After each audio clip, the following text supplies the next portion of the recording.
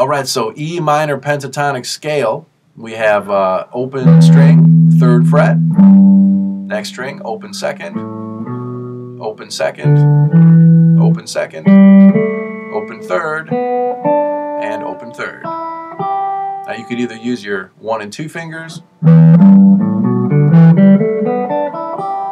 or two and three could work. You play it descending order.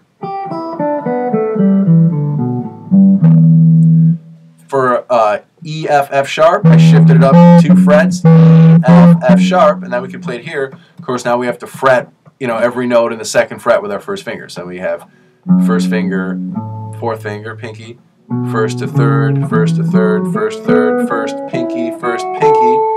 Turn it around backwards.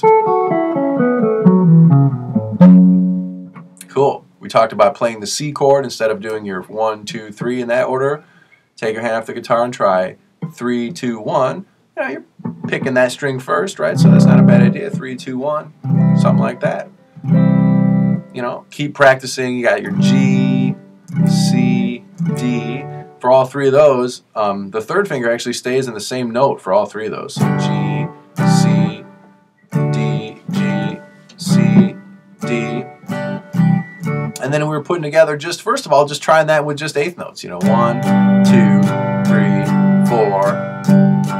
And then maybe to try to incorporate missing on three, one and two and and four and one and two and and four and and then maybe if that's all going good, then try to also just get the quarter note on one, one, two and three and four and one. And then if we can get that miss on three in there, one, two, and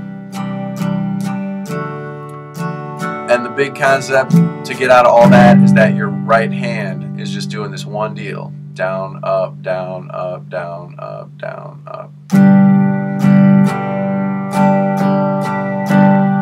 Try to have some kind of uniformity for the whole thing and not have a fast down or a quick up or any of that kind of thing. And I think you're doing a real good job of like tapping your foot and coordinating your foot and your hand, and that's that's a great idea because once you get that going at that same rate, then that's it, and then that's that's playing music then, and then you're then you're really doing it. Everything's going to work out great.